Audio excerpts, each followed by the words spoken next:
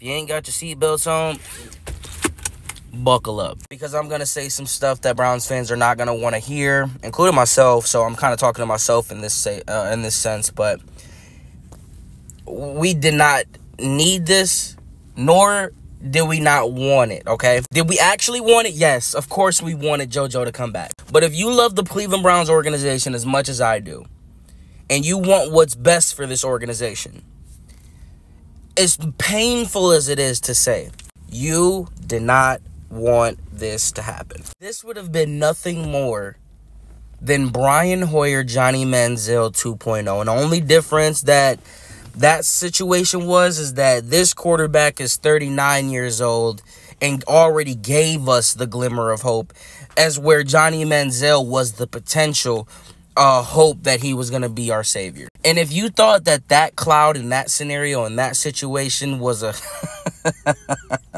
a shitstorm because there have been players uh, upon players that have came out and talked about that situation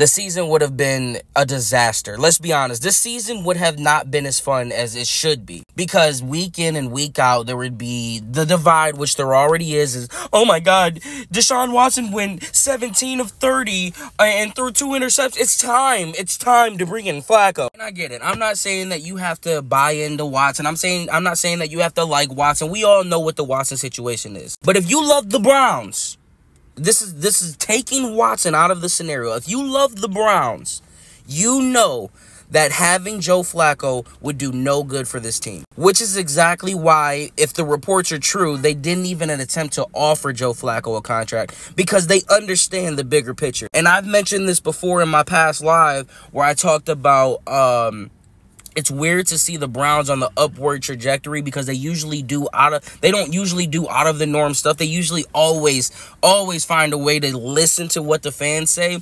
And for once in our lifetime, they aren't doing what the fans want, which means they are going in the right direction because for the past 20 plus years, it seems as if they have always found a way to listen to the crowd, which is Cleveland Brown fans. So I know it hurts and I know it sucks seeing him not in white and orange anymore and brown and orange, but it truly, truly is for the best for this organization.